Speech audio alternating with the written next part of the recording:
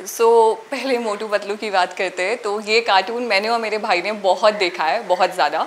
उस टाइम पे मेरा भाई हाइट में मुझसे छोटा हुआ करता था तो I used to call him Motu and used to call me Patlu हारी तो, तो मैंने बहुत सारी कर रखी हैं बट हाँ बचपन में I used to be a you know गुस्से वाला किड अगर आप मेरी फ़ोटोज़ भी देखेंगे ना बचपन की कभी शेयर ज़रूर करूँगी तो किसी भी काफ़ी बार ऐसा होता है हर घर में होता है तो कि भाई बहन आपस में लड़ रहे हैं बहुत लड़ रहे हैं भाई कभी रो रहा है क्योंकि भाई छोटा है बड़ी बहन मार रही है और जैसी मम्मी आई हम लोग अचानक से अपने अपने इमोशन कंट्रोल करके बिल्कुल नॉर्मल होकर बैठ गए। मैं लक्ष्मी मोटू पतलू कार्टून तो आपको पता ही होगा और उनकी जैसी शरारतें भी पता ही होगी। आप आप कैसे थी बचपन में? आपकी मेमोरीज क्या है? How was your childhood if you want to share with us something okay so पहले मोटू पतलू की बात करते हैं तो ये कार्टून मैंने और मेरे भाई ने बहुत देखा है बहुत ज़्यादा।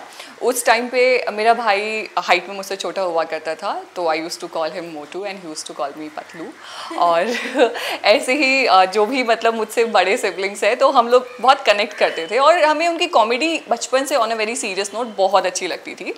और uh, मेरा बचपन कैसा रहा? ऑनेस्टली क्या शरारतें की? बचपन में मैंने क्या शरारतें की हैं?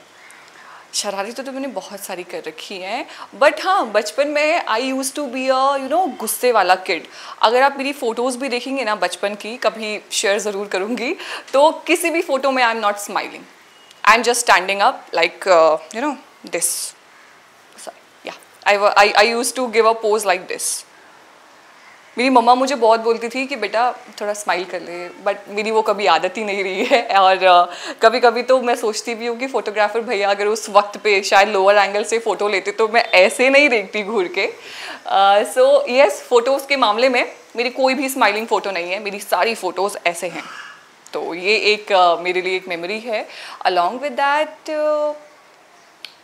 काफ़ी बार ऐसा होता है, हर घर में होता है तो कि भाई बहन आपस में लड़ रहे हैं, बहुत लड़ रहे हैं, भाई कभी रो रहा है क्योंकि भाई छोटा है बड़ी बहन मार रही है और जैसी मम्मी आई, हम लोग अचानक से अपने अपने इमोशन कंट्रोल करके बिल्कुल नॉर्मल होकर बैठ गए।